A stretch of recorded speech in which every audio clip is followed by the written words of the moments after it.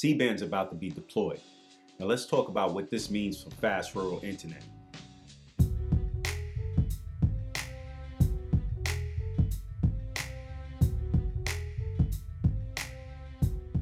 Now what is C-band?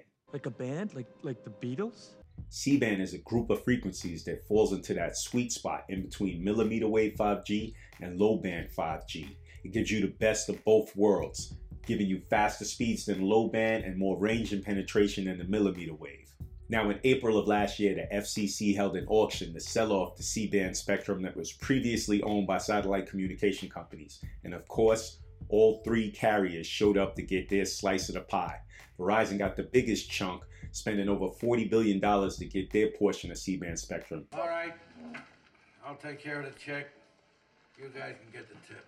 AT&T spent over $20 billion, and T-Mobile spent just about $10 billion to get their portion of C-band spectrum. All three carriers plan to use this to improve their 5G network and coverage and expand on what they already built. Now, so far, T-Mobile's in the clear lead because they spent time building out their low-band 5G and they reach more people than the other two carriers. But what does this mean for fast rural internet? Well, two of the carriers, Verizon and T-Mobile, have made it clear that they plan to get into the home internet game. T-Mobile already has a jump on that. Verizon has started in some select areas. This C-band spectrum could be a game changer, allowing Verizon to reach more areas than they could with their ultra wideband because it's only available in a few select areas and has very limited range. T-Mobile only spent about $10 billion on this C-band spectrum. You hear that? Only $10 billion billions?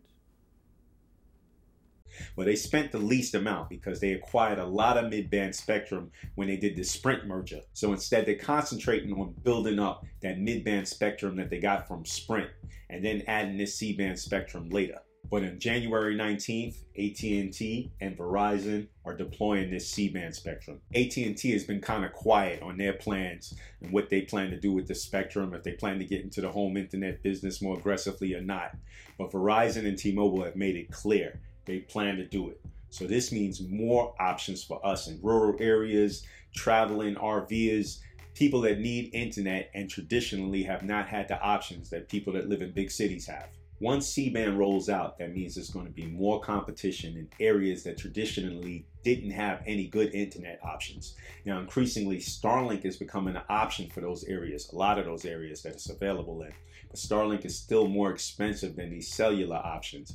And if 5G really rolls out the way that it should, then that's going to be an increasingly viable option for those of us in rural areas and RVers, people on the move Starlink is still working that out as far as being able to be a mobile internet option. But it's going to be interesting to see as there's more and more competition and prices drop. T-Mobile's already only $50 a month. If Starlink can stay competitive, charging $100 a month for their internet service, at least in the continental United States. The advantage that Starlink has is that it's a global internet option. So there's going to be a lot of areas globally that can't get internet where Starlink is going to be a very viable option. So the bottom line is competition is good. It's better for us.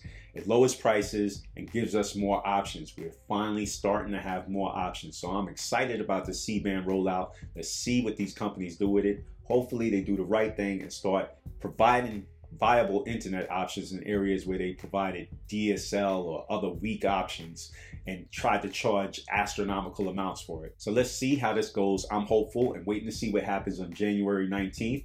I hope T-Mobile continues to expand their 5G coverage and improve on their network and the markets where they have T-Mobile home internet already available because the service is still hit or miss for a lot of areas. Some areas really good, some bad.